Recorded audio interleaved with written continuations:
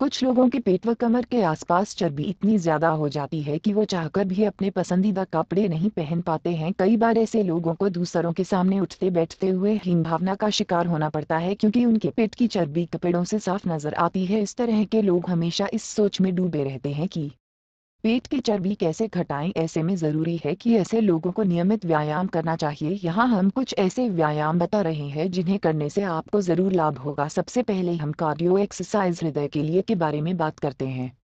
एक दौड़ना शरीर को चुस्त व दुरुस्त रखने के लिए रनिंग से बेहतर कुछ नहीं हो सकता। दौड़ लगाने से जहाँ हृदय अच्छे से काम कर पाता है, वहीं अतिरिक्त कैलोरी बन होती है और धीरे धीरे चर्बी भी कम होने लगती है। शुरुआत में कुछ मीटर ही दौड़ें और तेज की जगह धीरे धीरे दौड़ें। जब शरीर इसका अभ्यस्त हो जाए तो अपन गति और समय दोनों में वृद्धि कर सकते हैं। दो, तैराकी से भी शरीर में अतिरिक्त जमा वसा कम होनी शुरू होती है। तैराकी करना हृदय के लिए भी अच्छा है। तैराकी करने से न सिर्फ़ वज़न कम होता है, अपितु शरीर बेहतर शेप में आ जाता है। आप इसे हफ़्ते में एक या दो बार कर सकते हैं। अगर आपने पहले कभी तैराकी नहीं की है तो इसे किसी ट्रेनर की देखरेख में ही करें। तीन साइकिलिंग इसे सबसे बेहतर व आसान कार्डियो एक्सरसाइज हृदय के लिए माना गया है। इससे जहाँ पैरों, टांगों व जांघों की अच्छी एक्सरसाइज हो जाती है, वहीं शरीर की अतिरिक्त चर्बी व कैलोरी भी बाहर निकल जाती है।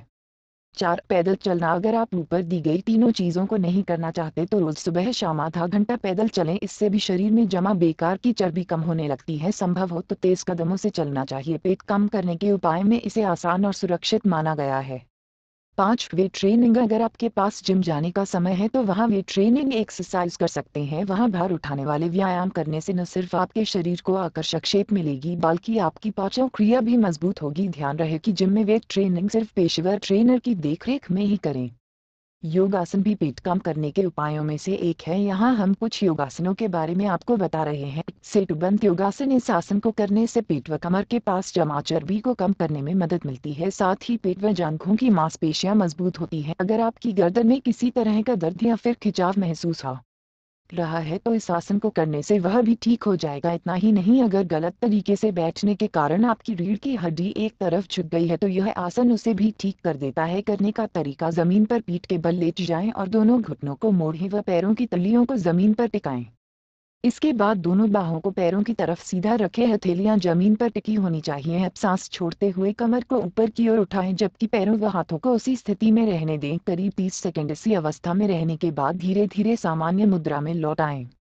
सावधानी उच्च रक्तचाप से ग्रसित लोगों को यह आसन नहीं करना चाहिए। दो कपाल भाती मोटापा कम करने के लिए इस योगासन को सबसे ज़्यादा फ़ायदेमंद माना गया है। कहा जाता है कि इसके परिणाम जल्द ही देखने को मिलते हैं। इसे नियमित रूप से करने पर कब्ज, गैस व एसिडिटी जैसी समस्याएँ गायब हो जाती है। पेट की नशे मज़बूत होती है और हमारा पाचन तंत्र भी अच्छे से काम करता है। करने का तरीका ज़मीन पर सुखासन की मुद्रा में बैठ जाएँ और आँखें बंद कर लें। अब धीरे धीरे नाक के ज़रिए सांस को बाहर छोड़ें। जब आप सांस बाहर छोड़ेंगे तो आपका पेट अंदर की ओर जाएगा।